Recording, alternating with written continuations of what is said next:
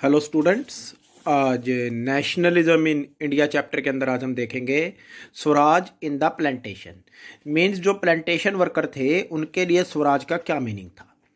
Workers to had their own understanding of Mahatma Gandhi and the notion of Swaraj जो workers थे plantation workers means जो चाय के बागानों में काम करते थे, उनके महात्मा गांधी के बारे में and the notion of Swaraj Swaraj के आइडिया के बारे में अलग अंडरस्टैंडिंग थी, उनकी अलग समझ थी। For plantation workers in Assam Assam के जो प्लांटेशन वर्कर थे freedom means the right to move freely उनके लिए फ्रीडम का मतलब था right to move freely in and out of the confined space कि जो उनके लिए स्पेस निर्धारित किया किया गया था, उसके अंदर और बार वो फ्रीली घूम सके इन विद देवर एनक्लोज जिसमें उनको बंद करके रखा गया था। इट मीन वो जब चाय के बागानों में काम करने के लिए जाते रहे तो उनको वापस उनके घर जाने की परमिशन नहीं दी जाती थी। तो उनके लिए स्वराज का सिर्फ़ यही मतलब था कि उनको अपने घर जाने की परमिशन दी जाए। उनके लिए कोई ये मीनिंग नहीं था भी जो ब्रिटिशर्स हैं, वो हमारे देश को छोड़ दे या हमें आज़ाद कर आज़ाद कर दे। This was not their mean they and it mean retaining a link with the village from with they had come और इसका मतलब था कि उनका उस गाँव से लिंक हो जाए, दोबारा जुड़ जाए, जहाँ से वो आए थे। Under the inland immigration act of 1859 59 1859 के इनलैंड इमिग्रेशन एक्ट के अनुसार plantation workers were not permitted to leave the tea garden without permission जो प्लांटेशन वर्कर थे, उनको टी गार्डन को छोड़ने की इजाज़त नहीं थी बिना परमिशन के। And in fact they were rarely given such permission और उनको ऐसी परमिशन बहुत मुश्किल से दी जाती थी। ये बात ठीक है कि बिना परमिशन के वो टी गार्डन से नहीं जा सकते थे। इट मीन परमिशन लेनी होती थी, लेकिन उनको परमिशन दी ही नहीं जाती थी। क्योंकि जो प्लांटेशन ओनर्स थे, उनको यही डर था कि वो एक बार चले जाएँगे तो वापस नहीं आएँगे। When they heard of non cooperation movement इसीलिए जब वर्कर्स ने नॉन कोऑपरेशन मूवमेंट के बारे में सुना thousands of worker defied the authorities हज़ारों वर्कर्स ने अथॉरिटीज जो उनके मालिक थे, उनकी आज्ञा को नकार दिया, उनके कानून को तोड़ दिया डिफाइड द अथॉरिटीज कानून को मानने से इनकार कर दिया। Left the plantation and headed home plantation छोड़ दिए, बागानों से चल पड़े और घर की तरफ़ चल दिए। They believe that Gandhi Raj was coming उनको यह विश्वास था कि गांधी राज आ रहा है। And every one would be given land in their own villages और हर किसी को उनके गाँवों में ज़मीन दी जाएगी। They however never reach their destination परंतु वो अपने डेस्टिनेशन तक कभी पहुँच नहीं सके। Stranded on the way by a railway and steamer strike वो रास्ते में ही रुक रुक गए वो। क्योंकि रेलवे और स्टीमर की स्ट्राइक थी, क्योंकि अगर वो वहाँ से प्लांटेशन से तो वो भाग गए। बट जब उन्हें घर जाना था तो रेलवे के थ्रू ही जाना था। लेकिन रेलवे की भी स्ट्राइक थी नॉन कोऑपरेशन मूवमेंट के कारण। इस कारण वो फंस गए। They were caught by the police police ने उनको पकड़ लिया एंड ब्रुटली बीटन अप और बुरी तरह उनको पीटा गया। Then, the vision of these movement were not defined by the Congress program. In movements के जो visions थे वो कांग्रेस के प्रोग्राम में डिफाइन नहीं किए गए थे। They interpreted the term swaraj in their own ways इस कारण उन्होंने स्वराज की अपने अपने तरीके से व्याख्या कर ली। Imagining it to be a time उन्होंने स्वराज का ये मतलब ले लिया भी ऐसा समय आएगा when all suffering and troubles would be over जब उनके सारे दुख और जो मुसीबतें हैं, वो सारी की सारी समाप्त हो जाएँगी। इट में जो प्लांटेशन वर्कर थे, उनके लिए स्वराज का अलग मीनिंग था। जो इंडस्ट्रियल वर्कर थे, उनके लिए स्वराज का अलग मीनिंग था। जो पेजेंट्स थे, उनके लिए स्वराज का अलग मीनिंग था। Yet when the tribal chanted Gandhi's name and raise slogan फिर भी जब जो ट्राइबल कम्युनिटी थी, उन्होंने गांधी जी का नाम गाया और स्लोगन बोले डिमांडिंग स्वतंत्र भारत स्वतंत्र भारत के नारे लगाए। They were also emotionally relating to an all India agitation तो वो ऑल इंडिया एजिटेशन जो विद्रोह चल रहा था, उससे भावनात्मक रूप से जुड़ गए। When they acted the name of Mahatma Gandhi, और जब उन्होंने महात्मा गांधी के नाम पे काम किया, और linked their movement to that of Congress और अपने मूवमेंट को कांग्रेस से जोड़ा they were identifying with movement तो उनको इस मूवमेंट के द्वारा पहचाना गया which band beyond which went beyond their limits of their immediate locality जो उनकी लोकेलिटी उनकी लोकेलिटी थी, जो एरिया थे, उनकी समाओं से भी उनका मूवमेंट बाहर चला गया। इट में जब उन्होंने अपने आंदोलन को महात्मा गांधी के साथ जोड़ा। तो ये नॉन कोऑपरेशन मूवमेंट था। ये पिक्चर एक बार देख लेते हैं। एट चोरी चोरा 1920 at Chauri Chaura in Gorakhpur a peaceful demonstration in bazaar turn into a violent clash Chauri Chaura Gorakhpur में यूपी में है। वहाँ पे एक पीसफुल प्रोसेशन जो चल रहा था डेमोन्स्ट्रेशन चल रहा था, वो एक हिंसा उसमें हो गई पुलिस के साथ। हेयरिंग ऑफ़ इंसिडेंट इस इंसिडेंट को सुन के Mahatma Gandhi called halt to the non cooperation movement Mahatma Gandhi ने नॉन कोऑपरेशन मूवमेंट को कुछ समय के लिए होल्ट कुछ समय के लिए रोक दिया। अब इससे आगे देखिए। Towards civil disobedience movement civil disobedience अब नॉन कोऑपरेशन के बाद चले सविनय अवज्ञा आंदोलन की तरफ़। In February 1922 Mahatma Gandhi decided to withdraw the non cooperation movement Mahatma Gandhi ने नॉन कोऑपरेशन मूवमेंट को वापस लेने का निश्चय किया। He felt the movement was turning violent in many places उन्होंने देखा कि मूवमेंट कई जगह हिंसक हो रहा था, जैसे हमने पीछे भी देखा है। And satyagraha is needed to be properly trained और सत्याग्रही को जो सत्याग्रही में जो आंदोलनकारी थे, उनको प्रॉपर ट्रेंड करने की ज़रूरत थी before they would be ready for mass struggle कि इससे पहले कि वो अगर इतनी बड़ी स्ट्रगल के लिए अगर उनको तैयार किया जाए तो उनको प्रॉपर ट्रेनिंग दी जाए, ताकि वो आंदोलन में हिंसा ना करें। Within the Congress Congress में ही। Some leaders were by now tired of mass struggle कुछ नेता इतनी संघर्ष, इतने लंबे संघर्ष के कारण थक गए थे। And wanted to participate in election to the provincial council और वो प्रोविंशियल काउंसिल के इलेक्शन में पार्टिसिपेट करना चाहते थे.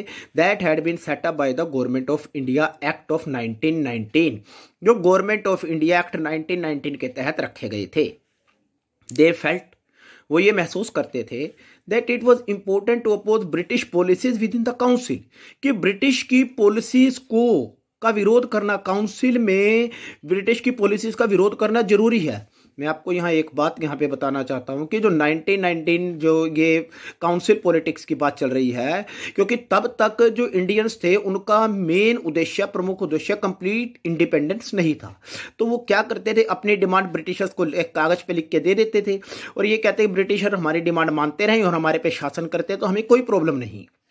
तो काउंसिल पॉलिटिक्स यही थी। और आर्ग्यू फॉर रिफॉर्म और उनसे रिफॉर्म के लिए, सुधार के लिए बहस करें। एंड ऑल्सो डेमोस्ट्रेट और ये भी बताएँ that these council were not truly democratic कि ये काउंसिल पूरी तरह डेमोक्रेटिक नहीं थी। C R Das and Motilal Nehru form the Swaraj party. अब सी आर दास और मोतीलाल नेहरू ने स्वराज पार्टी बनाई, कांग्रेस में से ही। To argue for return to council politics उन्होंने बहस करी कि हम काउंसिल पॉलिटिक्स पे दोबारा आएँगे। It means council politics council के इलेक्शन होंगे, जो चुने जाएँगे, अपनी डिमांड रख के ब्रिटिशर्स को देंगे और ब्रिटिशर्स उन्हें पास करेंगे।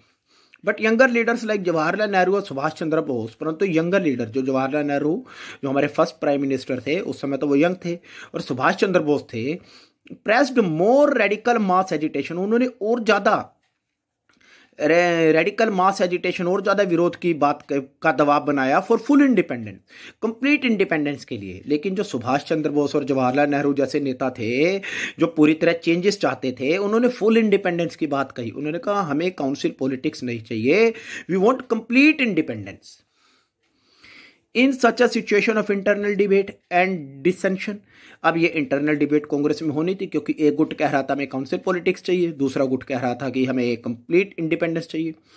Two factor again shaped Indian politics towards the late nineteen twenties दो फैक्टर ने इंडियन पॉलिटिक्स को आकार दिया नाइनटीन ट्वेंटीज के बाद।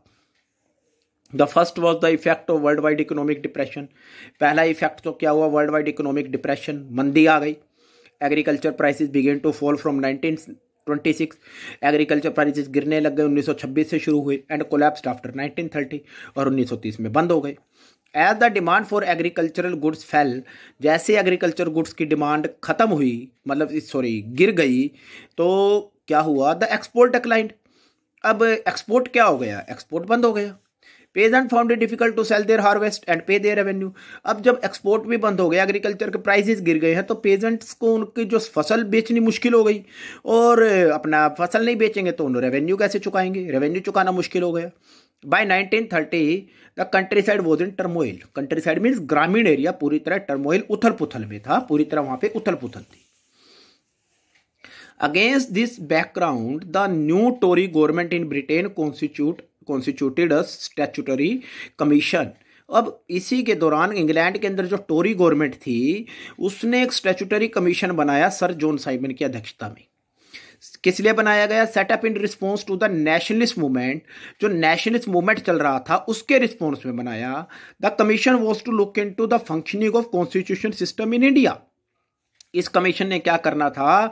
भारत में जो कॉन्स्टिट्यूशनल सिस्टम बनाना था, उसकी जो फंक्शनिंग है, ये किस प्रकार काम करेगा, उसके बारे में देखना था। इट मीन्स भाई इट मीन्स जब इंडिया का संविधान बनाने किस प्रकार बनाया जाएगा, उसके लिए क्या करना होगा, ये सब उन्हें देखना था। एंड सजेस्ट चेंजेस और इसमें उन्होंने सुझाव भी बताने थे इसमें क्या क्या किया जाए।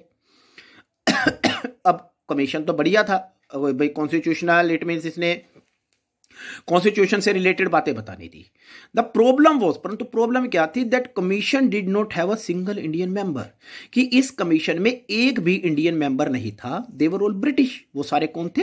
ब्रिटिश थे। अब इट मीन्स ये देखिए आप लोग कि कॉन्स्टिट्यूशन किसका बनाना है? इंडिया का। और सुधार कहाँ पे करने हैं? इंडिया में। लेकिन जो कमीशन है, जो सुधार करेगा, उसके मेंबर कौन है? ब्रिटिश। तो ब्रिटिश थोड़ी इंडिया का कॉन्स्टिट्यूशन बनाएँगे। इंडिया का कॉन्स्टिट्यूशन तो इंडिया की इंडियंस की प्रॉब्लम्स तो इंडियन समझेंगे। तो इसका विरोध होना शुरू हो गया। When the Simon commission arrived in India in 1928 it was greeted with slogan go back Simon तो इसको नारे से स्वागत किया गया हर जगह go back Simon all party सभी parties including the Congress including the Congress and the Muslim League participated in the demonstration उन सभी ने इस प्रदर्शन में भाग लिया। In effort to win them over उनको जीतने के प्रयास में the viceroy Lord Irwin जो उस समय वाइस राय थे इंडिया के वाइस राय थे Lord Irwin announced in October 1929 उन्होंने अक्टूबर 29 में क्या करा? घोषणा करी वेग ऑफ़र ऑफ़ डोमिनियन स्टेटस वेग एक वेग ऑफ़र मतलब स्पष्ट ढुलमुल ऑफ़र उनको दे दिया डोमिनियन स्टेटस का इंडिया के लिए। In an unspecified future unspecified future में, भाई इट मीन्स उन्होंने कहा, जो वॉइस रॉय थे लॉर्ड इरविन उन्होंने कहा, भाई, हम आपको डोमिनियन स्टेटस का दर्जा दे देंगे। और क्या कहा? And a round table conference to discuss the future constitution और उन्होंने कहा भी हम एक राउंड टेबल कॉन्फ्रेंस रखेंगे, उसमें आपके कॉन्स्टिट्यूशन को डिस्कस किया जाएगा। राउंड टेबल कॉन्फ्रेंस का मीनिंग है कि एक टेबल होती थी टेबल के चारों तरफ़ जो लोग हैं, और ब्रिटिश और इंडियंस वो बैठ जाएँगे और डिस्कस कर लेंगे। They did not satisfy the Congress leader this did not satisfy the Congress leader इससे कांग्रेस लीडर सेटिस्फाई नहीं हुए। The radicals within the Congress जो रेडिकल जो चेंज चाहते थे कांग्रेस के अंदर लेड बाय जिनका नेतृत्व कर रहे थे जवाहरलाल नेहरू और सुभाष चंद्र बोस तो बिकेम मोर असर्टिव वो थोड़ा और सावधान हो गए। The tribal liberals and moderate, जो लिबरल्स थे और मॉडरेट थे who were proposing a constitution system within the framework of British dominion जो ये चाहते थे कि जो ब्रिटिश कॉन्स्टिट्यूशन बने, वो ब्रिटिश डोमिनियन के फ्रेमवर्क में बने इट में ब्रिटिश जैसा चाहते हैं, वैसा कॉन्स्टिट्यूशन बने। ये ग्रेजुअली लोस्ट देयर इन्फ्लुएंस धीरे धीरे उनका प्रभाव कांग्रेस के अंदर क्या हो गया? कम हो गया, क्योंकि उनका तो मेन एम कंप्लीट इंडिपेंडेंस था ही नहीं। इस कारण उनका प्रभाव कम हुआ। In December 1929 under the presidency of Jawaharlal Nehru दिसंबर 1929 में जवाहरलाल नेहरू की अध्यक्षता में Lahore Congress formalise the demand of Purna Swaraj और full independence for India Lahore Congress में पूर्ण स्वराज या फुल इंडिपेंडेंस की डिमांड रखी गई। इट वॉज़ डिक्लेयर्ड ऐसा कहा गया that 26 January 1930 would be celebrated as the independence day कि 26 जनवरी 1930 को इंडिपेंडेंस डे मनाया जाएगा। When people were to take pledge जब लोगों ने वादा करना था to struggle for complete independence कि वो कंप्लीट इंडिपेंडेंस के लिए स्ट्रगल करेंगे। इट मीन 1930 के बाद से ये कहा गया 1926 जनवरी 1930 के बाद से कहा गया लोगों को। अब उनका उद्देश्य अब कंप्लीट इंडिपेंडेंस है। भाई ब्रिटिश पूरी तरह यहाँ से चले जाए, हमारा ही प्रधानमंत्री होगा, हमारा कॉन्स्टिट्यूशन होगा, हमारा प्रेसिडेंट होगा। But the celebration attracted very little attention परंतु इस सेलिब्रेशन को बहुत कम लोगों का ध्यान गया। So, Mahatma Gandhi had to find a way to relate this abstract idea of freedom to more concrete issues of everyday life. इसीलिए महात्मा गांधी को एक ऐसा रास्ता ढूंढना था, जिससे जो फ्रीडम का एब्स्ट्रैक्ट आइडिया है, वो कंक्रीट इशू से जुड़ जाए एवरीडे लाइफ की। इट मीन्स उस इश्यू से महात्मा गांधी इसको जोड़ दे फ्रीडम के आइडिया को, जिससे लोग इसके अंदर पार्टिसिपेट करना शुरू कर दे। तो कौन सा वो आइडिया था? क्या महात्मा गांधी ने उसके लिए किया? We will see in our next video thank you